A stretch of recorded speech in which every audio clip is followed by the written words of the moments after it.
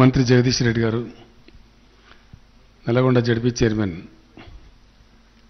మిత్రులు నరేందర్ రెడ్డి గారు. నరేందర్ రెడ్డిని పరిచయం చేస్తున్నారు నాకు గౌరవ భువన కూర్చోవే అనిల్ కూర్చోండి. భువనగిరి శాసనసభ్యులు Shekhar Reddy garu Bhuvanagiri ZP chairman Sandeep Reddy garu Nalgonda MLA మిత్రులు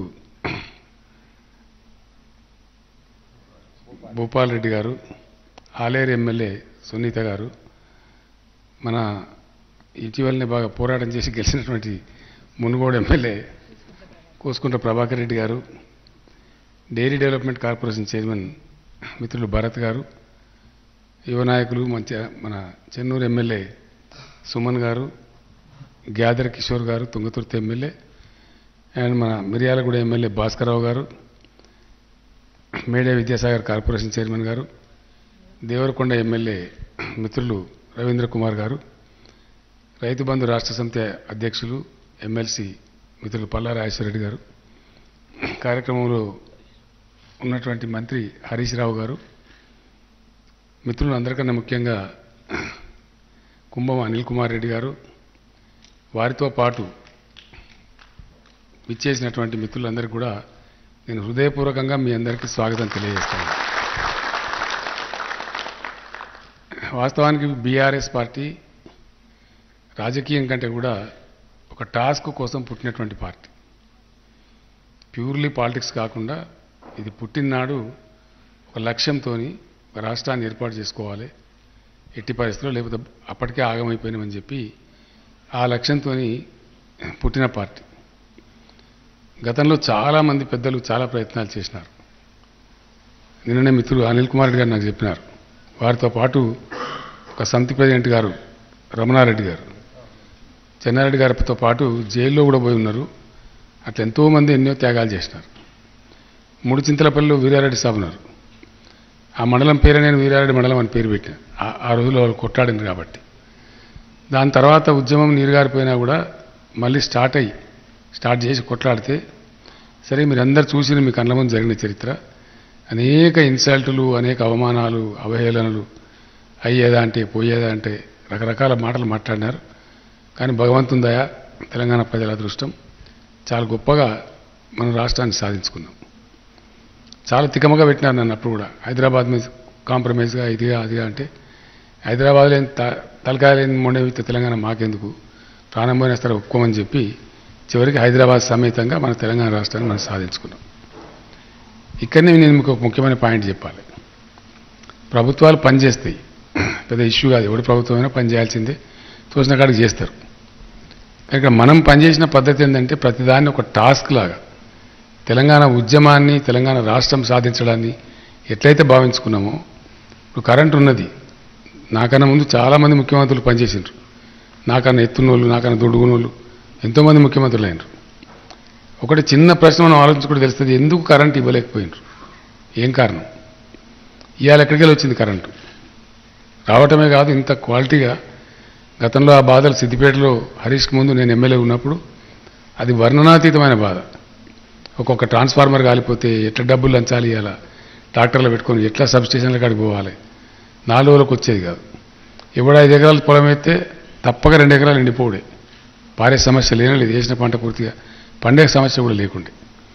తెలంగాణ వచ్చిన రోజు నేను కొన్నిసార్లు ఏడ్చుకుంటూ రైతులకు దండం పెట్టి చెప్పింది మీరు ఆత్మహత్య చేసుకోకండి ఒక రెండు మూడేళ్ళు బతికుండండి నేను మిమ్మల్ని కాపాడుకుంటా అని చెప్పి కూడా చేతులెత్తి దండం పెట్టి చెప్పిన. ఒక పాలసీగా ఇప్పుడు కొంతమంది తెలిసి తెలియక తెలివిలేక ఏదేదో మాట్లాడుతుంటారు. అవి పట్టించుకోను నేను. కారణం ఏంటంటే తెలంగాణ కలబడి కొట్లాడి తెచ్చుకున్నాం. ఈ తెచ్చుకున్న తెలంగాణ నిలబడాలి ఎట్టి పరిస్థితులలో. నిలబడాలంటే హండ్రెడ్ పర్సెంట్ గ్రామీణ ప్రాంతాలు చల్లగా ఉండాలి రైతులు బాగుండాలి రకరకాల బాధలు వాళ్ళకు ఉన్నాయి తొలగిపోవాలని చెప్పి రైతు బంధు రైతు బీమా లాంటి స్కీమ్ తెచ్చుకున్నాం. ఇరవై నాలుగు గంటలు ఫ్రీ కరెంట్ ఇచ్చుకుంటా ఉన్నాం. ఎక్కడ ఏ రాష్ట్రం కూడా ఏది ఇండియాలో. వాగ్దానాలు చెప్పినా మో మోసం చేస్తారు తప్ప ఇయ్యరు. అది చాలా కఠినమైన పని. ఎందుకంటే అంత దాన్ని మెయింటైన్ చేయాలంటే మీకు ఒక విషయం చెప్తే మీరు నమ్మలేరు. నేను ముఖ్యమంత్రి అయిన తర్వాత కరెంట్ ఆఫీసర్లందరినీ పిలిచి మాట్లాడుతున్నాను మాట్లాడితే వాళ్ళందరూ ఒకటే మాటని అడిగిన మీరు అబద్ధాలు చెప్పొద్దు. రైతులకు నిజంగా కరెంటు మంచిగా ఇవ్వాలంటే ఇవ్వగలుగుతామా లేదా? దానికి ఎంత టైం పడుతుంది? డబ్బెంతైనా పర్వాలేదు. చెప్పండి అంటే ఒక ఐదు రోజులు టైం ఏంటి సార్. ఆలోచించుకొని చెప్తామన్నారు. పోయి వచ్చిన ఐదు రోజుల తర్వాత అందరు ఆఫీసర్లు కూర్చొని మాట్లాడుకుని వచ్చి నాకు చెప్పినారు మీరు సంకల్పం తీసుకుంటే ఇవ్వగలుగుతాం సార్ డెఫినెట్గా అని చెప్పారు. ఇంత ఇవ్వగలిగి ఉండి ఇవ్వకపోతే ఇది పాపానికన్నా ఎక్కువ మహాపాపము. ఇవ్వగలుగుతామంటే డెఫినెట్గా ఇవ్వగలుగుతాం సార్. మీ సపోర్ట్ ఉంటే అంటే సరే మంచిదే. ఏమేమి కావాలంటే ఈ సబ్స్టేషన్ ఎట్లా చేయాలి ట్రాన్స్ఫార్మర్ ఎట్లా చేయాలి వాటి సంఖ్య పెంచాలి. అంత అసమతుల్యంగా ఉన్నది. టూ ట్వంటీ కేవీ నుంచి ఫోర్ ఫోర్ హండ్రెడ్ నుంచి two twenty KV two twenty KV నుంచి వన్ థర్టీ టూ కేవీ అక్కడి నుంచి thirty three by eleven KV తర్వాత సాలినని ట్రాన్స్ఫార్మర్లు ఇవన్నీ బాధల్ని ఈ డిస్ప్రపోర్షనేట్గా ఉన్నదాన్ని ప్రపోర్షనేట్ చేస్తే సమతుల్యంగా చేస్తే మోటార్లు కాలకుండా ట్రాన్స్ఫార్మర్లు కాలకుండా ఇచ్చే పవర్ ఏదో క్వాలిటీగా ప్రజలకు అందుతుంది అని చెప్పిన వాళ్ళు. ఆ రోజు నిజంగా ఒకసారి యాడ్ చేసుకుంటే ఇప్పుడు కూడా భయం అవుతుంది ఏ ఇంట్లో చూసినా కానీ జనరేటరు ఇన్వర్టరు కన్వర్టరు స్టెబిలైజరు లేకపోతే టీవీ కాలిపోతుంది ఫ్రిడ్జ్ కాలిపోతుంది చాలా భయంకరమైన పరిస్థితి. మనమే అనుభవించినాం. హైదరాబాద్ షాపులకు పోతే first first petrol camp diesel camp generator వాసన వచ్చేది. అంత దుర్మార్గంగా ఉండే. అపార్ట్మెంట్లలో ఉండే వాళ్ళు కూడా భయంకరమైన బిల్లులు కట్టలేక జనరేటర్లు పెట్టుకొని చాలా డబ్బులు ఖర్చు పెట్టేవాళ్ళు. అనేక అంటే దాని ద్వారా వచ్చిన పరిణామాలు దుష్పరిణామాలు చాలా ఉండేటి. దాన్ని ఒక ఏడెనిమిది నెలల టైంలో చాలా వరకు బాగా చేసి అన్ని రంగాలకు ఇచ్చిన ఒక వ్యవసాయం తప్ప ఇరవై నాలుగు గంటలు. క్వాలిటీ కరెంట్ ఇచ్చినాం. ఈవెన్ ఇండస్ట్రీ కూడా ఇచ్చినాం. మొత్తం రైతులకు ఇచ్చే ముందు అది ఎలక్ట్రిసిటీ అధికారులు ఇట్లా గదగద వణుకుతున్నారు. ఈయనరా భయ్ ఏం కాదు అట్లుంటేనే మీకు మంచిగా ఉంటుంది. అని ఉన్న చిన్న కిటికీ ఏంటంటే ఈ ఏడు గంటలే వస్తుంది అంటే ఏడు గంటల టైంలోనే ప్రతి ఒక్కరు కరెంట్ వస్తుంది ఆ స్టార్టర్లలో కట్టెలు పెట్టుడు. త్రీ ఫేజ్ లేకపోతే ఇంకోటి వేసి అది తమాషలు అందరూ ఒకటేసారి పెడితేపటికి ట్రాన్స్ఫార్మర్లు కాలిపోడు మోటార్లు కాలిపోడు. నేను చెప్పి మీరు అంతా భయపడే అవసరం లేదా? ఇరవై నాలుగు గంటలు ఉన్నట్టయితే నా ఇష్టంలో నేను పెట్టుకుంటా ఇంకో ఇష్టం.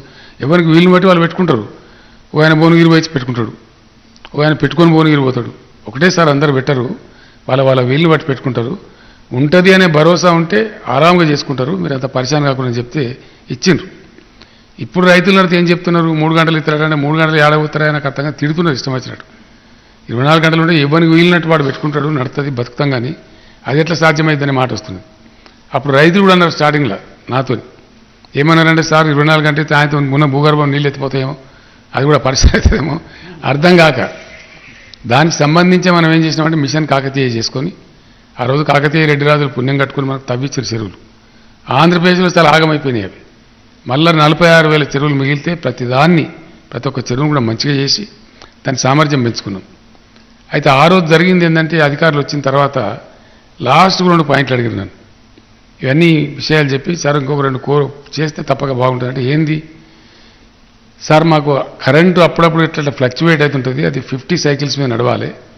కిందికి వచ్చినా కానీ దెబ్బ కొడుతుంది గ్రిడ్ కొలాప్స్ అవుతుంది.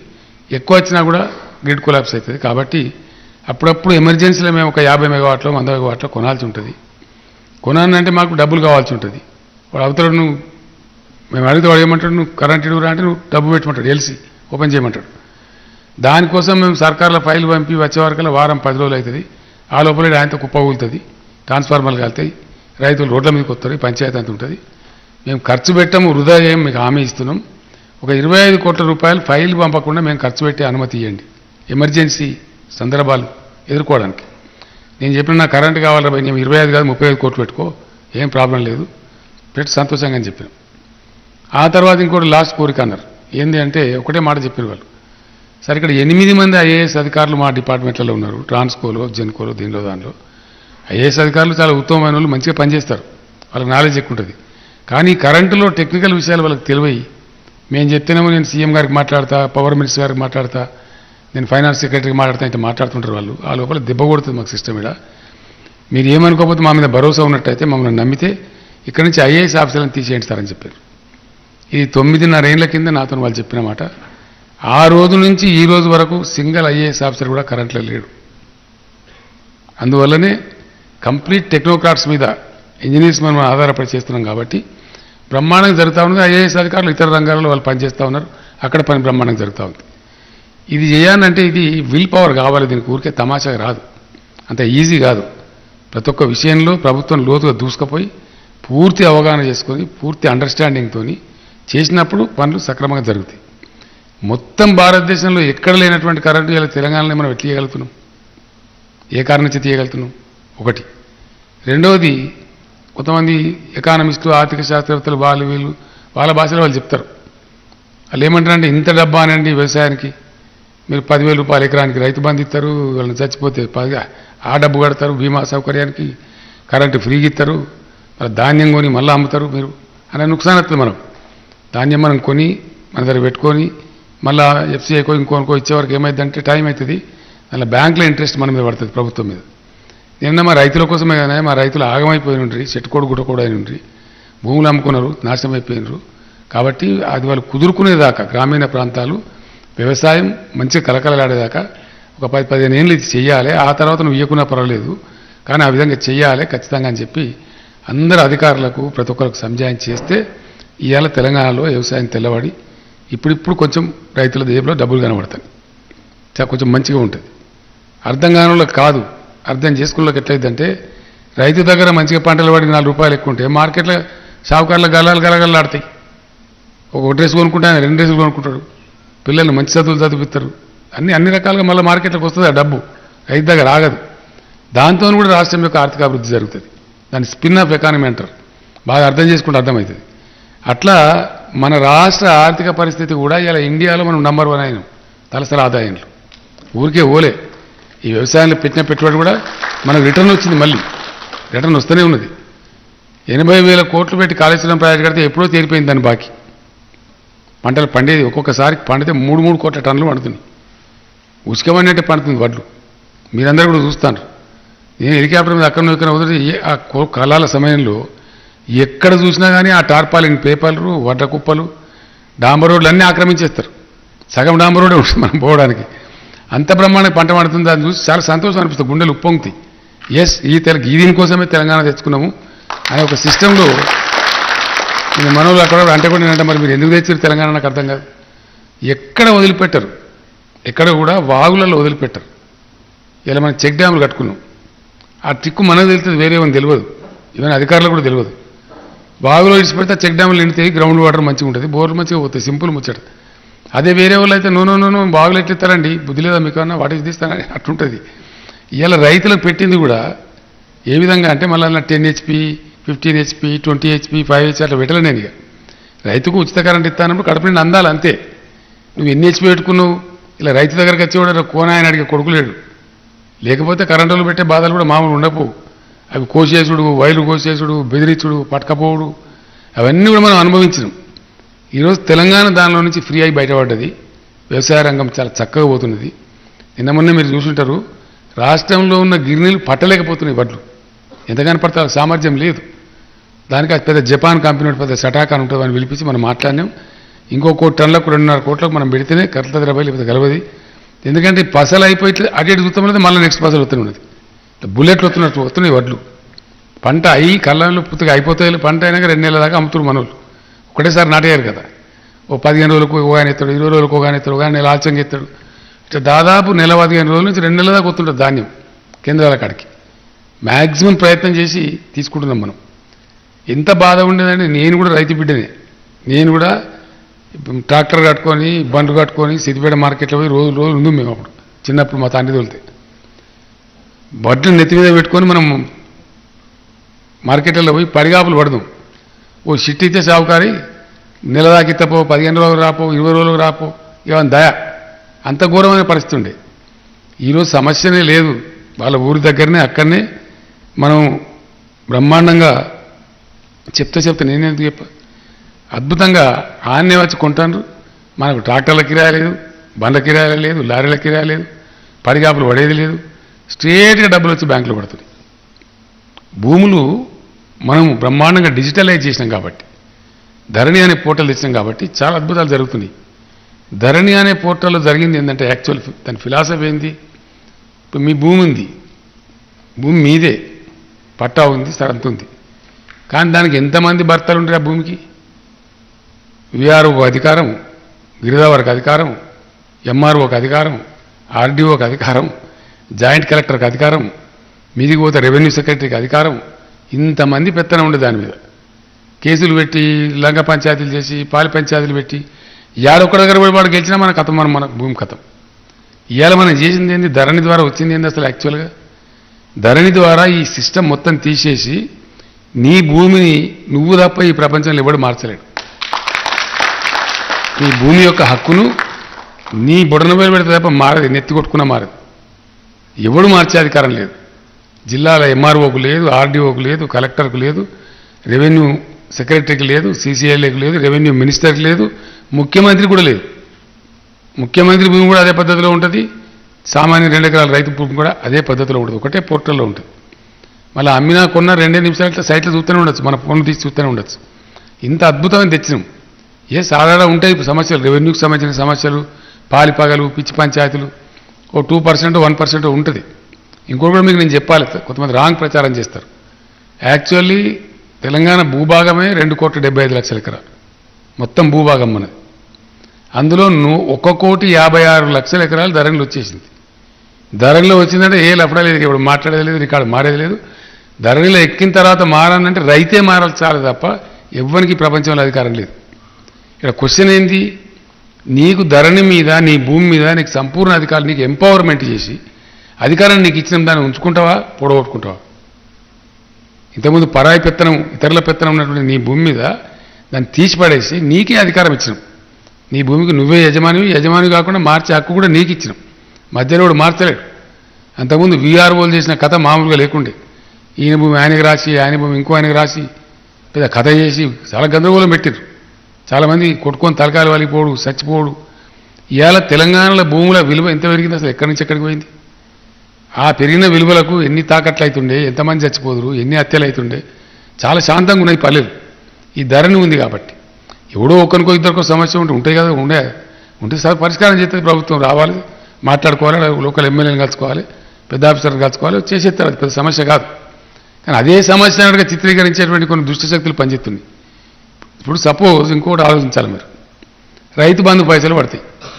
దరఖాస్తు లేదు దఫ్తర్ లేదు ఆడికి తిరిగేది లేదు కడుపులో సల్లగా ఇంట్లో కూర్చుంటాం. సీదా పైసలు వచ్చి మన బ్యాంకులో పడతాయి మనకు సెల్ల మెసేజ్ అవుతుంది చూసుకుంటే కరెక్ట్ ఉంటుంది. సపోజ్ ధరను తీసేస్తాం. రైతు బంధు పైసలు ఎట్లా రావాలా? ఏ పద్ధతిలో రావాలా? మళ్ళీ దరఖాస్తు పెట్టాలి. మళ్ళీ ఎంఆర్ఓ ఆఫీస్కి పోవాలి. అగ్రికల్చర్ దగ్గర వాని దగ్గర పోయి సలాం కొట్టాలి. వాడు రాస్తాడు నువ్వు వేసినావని ఏం నమ్మకం ఉన్నది? అరే వేసినా లావు నాకేమిస్తావు నీకు నీకు ఇరవై వేలు వస్తుంది కదా నీకు ముప్పై వేలు వస్తుంది కదా నాకేమైనా ఇస్తావా లేదా అంటే మళ్ళీ లంచాలు పెట్టాలి. ధరని ఉండడం వల్ల ఏమవుతుంది మూడు జరుగుతున్నాయి. ఒకటి నీ రికార్డు ఎవ్వడు మార్చలేడు. Land safe. రెండవది ఏమవుతున్నది దాని కింద రావాల్సిన డబ్బులు ప్రభుత్వం నుంచి రావాల్సిన సహాయం బాజప్తా ఆన్లైన్ వచ్చి నీ బ్యాంకులో పడుతుంది. నీ ధాన్యం కొనుగొన్నప్పుడు అప్పుడు కూడా మునుపట్లేక చిట్టీలు తిరిగి మండీల చుట్టూ సావుకాల చుట్టూ బీట్ల చుట్టూ తిరిగే దంద లేదు. సీదా పైసలు వచ్చి బ్యాంకులోకి వస్తుంది. రెండో పంట అప్పుడు ఏమవుతుందంటే వర్షాకాలం పంట అయిపోతుంది అమ్ముతారు రైతులు. ప్రభుత్వం ధన్మని బ్యాంకులకు పంపిస్తుంది డబ్బులు. నాలుగు ఐదు ఆరు రోజుల లోపల వచ్చి బ్యాంకులో పడతాయి. అదే సమయంలో మళ్ళీ రెండో పంట పెట్టుబడి వస్తుంది. కాబట్టి రైతు మూడు రూపాయల మిత్తికి నాలుగు రూపాయల మిత్తికి ఇప్పుడు అప్పులు తీసుకునే పరిస్థితి లేదు. ఎవ్వరు కూడా తీసుకుంటలేడు బంద్ అయిపోయింది. బ్యాంక్ రుణాలు కూడా ఇష్టం ఉంటే తీసుకుంటలేదు ఎందుకంటే వాటికి మితికడం తీసుకుంటలేరు ఇది ఒక మంచి అద్భుతమైన పరిణామం. ఇది రైతాంగానికి శాశ్వతంగా ఉపయోగించే పరిణామం. ఈ మధ్య నేను మన పార్టీ పెట్టి మహారాష్ట్రలో తిరుగుతున్నాం. అక్కడ పటవారి పేరు పటవారి అంటే వీఆర్ఓ పేరు తలాటి అంటారు వాళ్ళు. నేను అడుగుతున్న సభలలో తలాటి ఉండనా తీసేయాలంటే మొత్తం మంది ముక్తకంఠంతో తీసేయాలి సార్ అని చెప్తున్నాను ఇంత మంచి సదుపాయం ఈ ఇండియా మొత్తంలో ఏ రాష్ట్రం లేదు. ఎందుకంటే మనం ఆగమైపోయినాం కాబట్టి తెలంగాణ కంబైన్డ్ స్టేట్ ఆంధ్రప్రదేశ్లో ఉండి నీళ్ళకు గోసపడ్డము కరెంటుకు గోసపడ్డము ధాన్యం అమ్ముకుంటూ గోసపడ్డము వేసిన ఐదు ఎకరాల వరకు రెండు ఎకరాలే పండి గోసపడ్డము రైతులను ఉన్నోళ్ళం కూడా ఇటుకి వచ్చి ఆటోలు నడిపిన పరిస్థితి కళ్ళారు చూసినాం మహబూబ్నగర్ జిల్లా నుంచి కొన్ని ఇతర ప్రాంతాల నుంచి. ఎక్కడైతే కరువు పడితే హైదరాబాద్కి వచ్చి ఆటోలు నడిపింది ఇరవై ఎకరం ముప్పై ఎకరం ఉన్న రైతులు కూడా. అంత దుస్థితి ఉండే. ఏం చేసైనా సరే రైతు నిలబెట్టాలి రైతు చల్లగుంటే గ్రామాలు చల్లగుంటాయి పది మందికి అన్నం పెడతారు. అన్ని రకాల లాభం జరుగుతుందని చెప్పి మనం చేసినాం అది జాగ్రత్త ఫలించింది. అట్లనే ఎన్నో స్కీములు ఎంతో మందికి అనేక రకాల లాభాలు జరిగినాయి. ఇవన్నీ కూడా చేసినామంటే ఒక సంకల్పం తీసుకొని చాలా చక్కటి పత్రులు చేసినాం. ఫైనల్ మీకు చెప్పేది ఏంటంటే కాళేశ్వరం నీళ్ళు తెచ్చినాం. రేపో మాపో మీ బసవపూర్ రిజర్వాయర్ కూడా నిండబోతా ఉంది. బ్రహ్మాండమైన నీళ్ళు వస్తాయి. అద్భుతమైన నీళ్ళు వస్తాయి. ఇప్పుడు ఈ సంవత్సరం నింపుతుంది బసవపురాన్ని. ప్రాజెక్టు కట్టినప్పుడు ఏంటంటే మొత్తం ఒకసారి నింపకూడదు. కొత్త ప్రాజెక్ట్ కాబట్టి మూడో భాగం మూడో భాగం మూడో భాగం చొప్పున నింపుకుంటూ పోతారు. కానీ కాలువలకు అందే మందం వచ్చేస్తుంది బ్రహ్మాండంగా.